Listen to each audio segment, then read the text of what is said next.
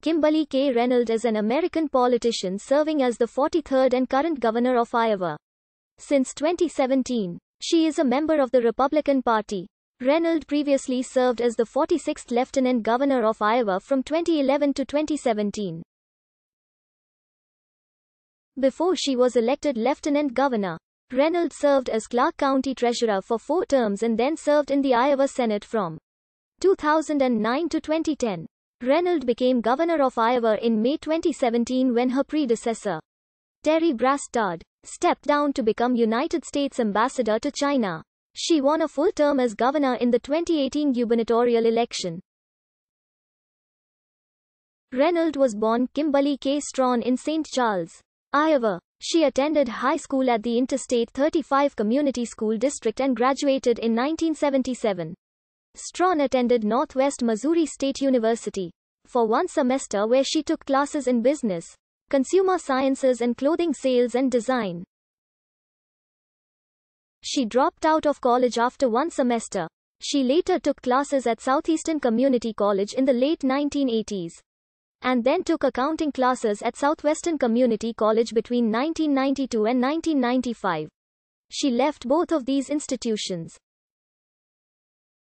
Reynolds began partially online classes at Iowa State University in 2012 and received a Bachelor of Liberal Studies degree in December 2016.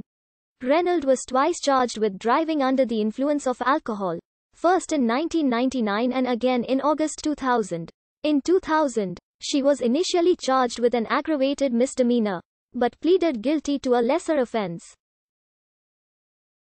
In 2017, Reynolds stated that she sought inpatient treatment for alcoholism following her second arrest and that she had been sober for nearly 17 years. Reynolds married Kevin Reynolds in 1982. As of 2018, the Reynoldses have three daughters and nine grandchildren.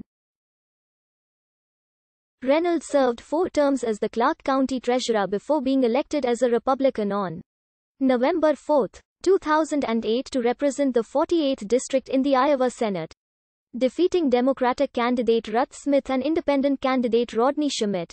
In 2010, Reynolds endorsed a ban on same-sex marriage in Iowa. On June 25, 2010, Republican gubernatorial nominee Terry Branstad publicly proposed Reynolds to be his running mate as the lieutenant governor candidate.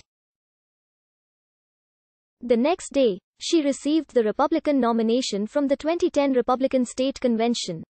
On November 2, 2010, the Branstad Reynolds ticket won the general election. Reynolds resigned from her Senate seat on November 12, 2010, ahead of taking office as lieutenant governor.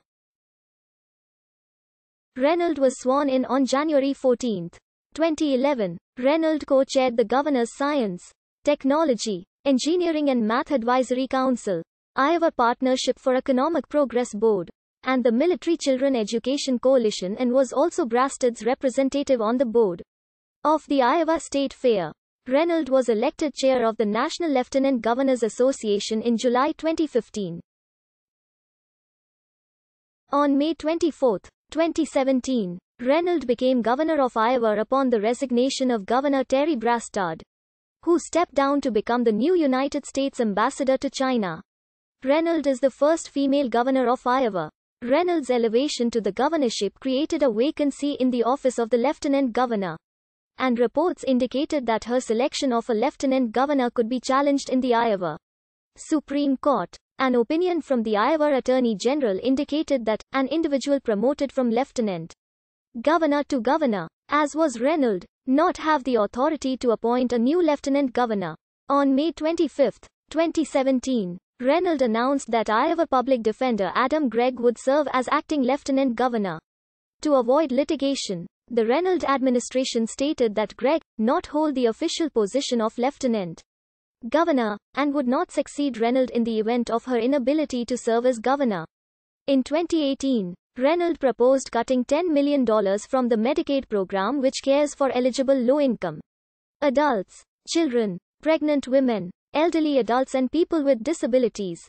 In 2020, Reynolds proposed a 1 cent increase in the state sales tax offset by a phased reduction in the state income tax, including a cut in the tax rate for the top income bracket from 9% to 5.5%.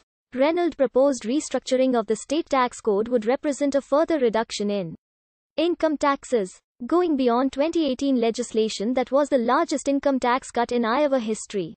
Her proposed sales tax increase, however, was largely opposed by state legislators. In 2018, following the U.S. Supreme Court's decision in Obergefell v. Hodges, Reynolds described same-sex marriage as a settled issue and said that she did not consider herself obligated to follow the Iowa Republican Party platform provision against same-sex marriage. Reynolds is a staunch supporter of Donald Trump. Reynolds blocked two-thirds of requests from Democratic State Attorney General Tom Miller to join multi-state lawsuits challenging